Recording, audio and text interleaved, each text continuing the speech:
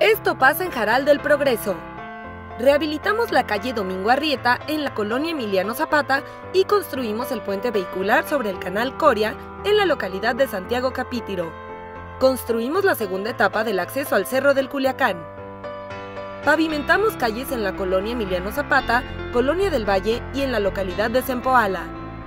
Construimos infraestructura educativa en la Escuela Primaria Fulgencio Vargas y en el Jardín de Niños Miguel Hidalgo rehabilitamos el camino rural Las Islas, así como el de la Cruz a Providencia.